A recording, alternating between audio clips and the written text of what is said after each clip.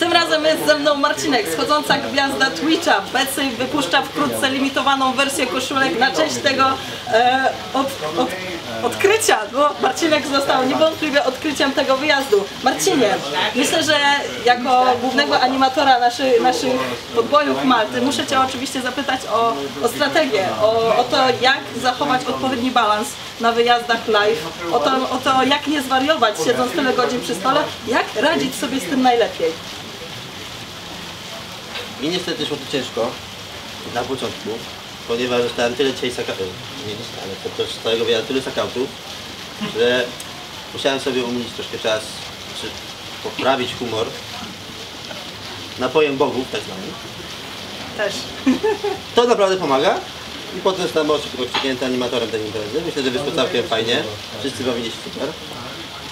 Nie tylko impreza, ale całego wyjazdu, bo nie możemy, nie możemy tak umieszczać Twoim osiągnięciom, bo każdy, każdy z nas zniósł już tutaj e, petycję o to, żeby została wypuszczona linia koszulek, żeby na następnym Poker Break pojawiała się nie Players Party, tylko Marcinek Party.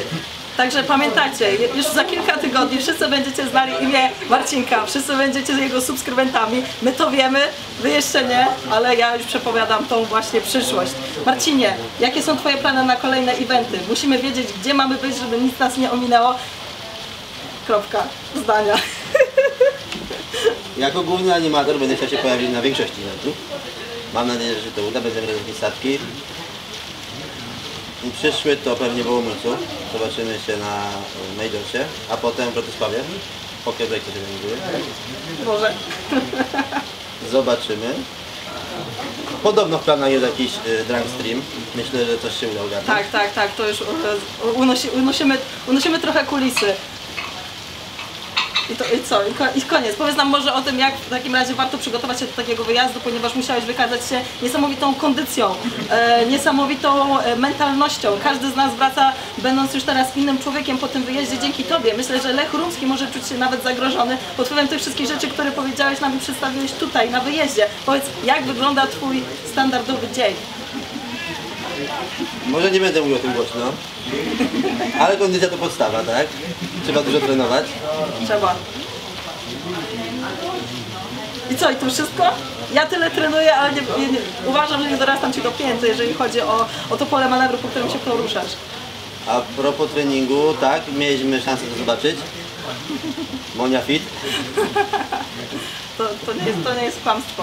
To nie jest kłamstwo, tak. Monia pokazywała nam, jak można trenować i zarazem umiać sobie życie.